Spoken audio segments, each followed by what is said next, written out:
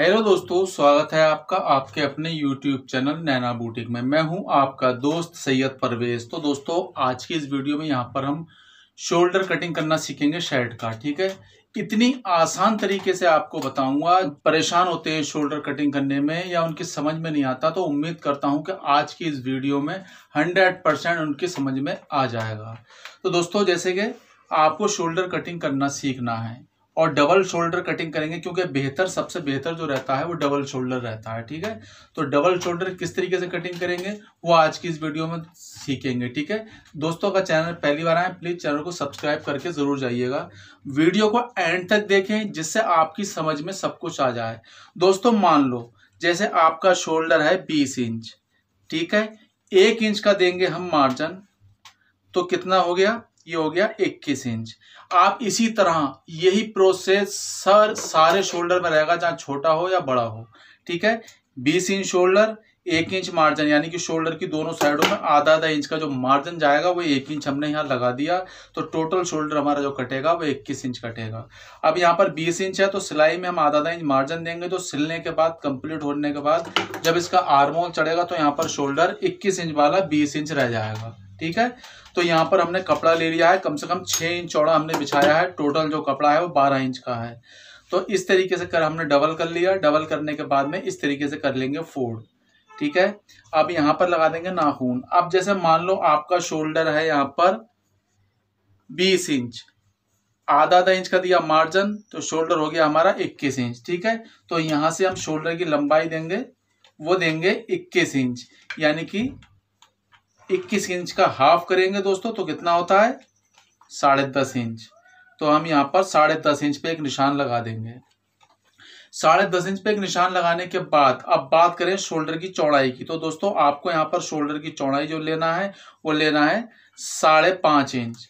ठीक है? आधा आधा इंच का हमारा मार्जिन ऊपर नीचे जाएगा। तो दोस्तों, यहाँ पर हमारा शोल्डर रह जाएगा साढ़े चार इंच कंप्लीट। ठीक है? तो बिल्कुल परफेक्ट चौड़ाई रहती है वो। उसके बाद में, जैसे हमने एक निशान ये लगा लिया, उसके बाद में हमें एक पौने दो इंच पे निशान लगाना होता है। तो दोस्तों, हम पौने दो इंच पे निशान लगा लेंगे। पहले, सबसे पहले साढ़े पाँच पे लगाएँगे, बिल्कुल सीधा करके। उसके बाद हम लगाएँगे यहाँ पर पौने दो इंच पे।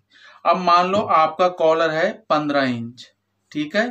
पंद्रह इंच का है तो हम यहाँ पर इसका जो फैलाव कटिंग करेंगे वो कर, करेंगे ढाई इंच इससे ज़्यादा बिल्कुल ना करें। अगर आप आ, का डर है कि आपका हाला ना बढ़ जाए तो आप सवा दो इंच तक कर सकते हैं। फ़िलहाल मैं ढाई इंच करता हूँ कोई भी यहाँ पर डर वाली बात नहीं रहती परफेक्ट रहता है।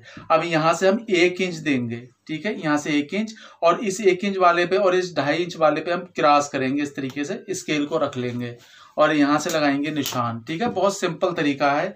फिर हमने यहाँ से यहाँ तक बीस इंच का हाफ़ करके दस इंच हो गया, आधा आधा इंच का मार्जिन यानी हमने साढ़े दस इंच पे लगा दिया है इक्कीस इंच शोल्डर का। तो साढ़े दस इंच पे यहाँ लगा देंगे। इसको सीधा कर लेंगे, ठीक है?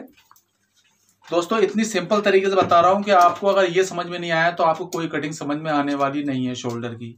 अब इस निशान से और इस नीचे वाले निशान पे, पौने दो इंच वाले निशान पे हम स्केल रखेंगे इस प्रकार।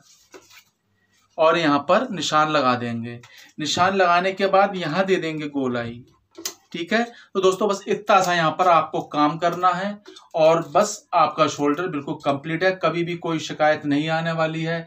आप देखते होंगे कभी कभी के प्रेस करते टाइम आपका क्या नाम है कॉलर है, पीछे को भागता होगा तो वो होती है शोल्डर की चौड़ाई की कमी। ठीक है? इसलिए भागता है। तो दोस्तों, यहाँ से हम करेंगे कटिंग।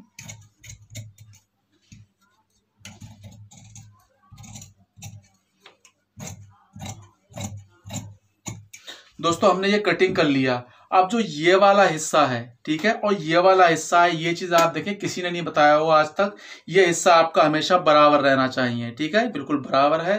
तो अब हम क्या करेंगे, एक छोटा सा कट यहाँ लगाएँगे, बहुत बारीक सा कट लगाना है, जो हमारे मार्जिन में, दबाव में आ जाए, ठीक है, और इसको इस तरीके से करेंगे ओपन और इन दोनों शोल्डरों कर लेंगे अलग अलग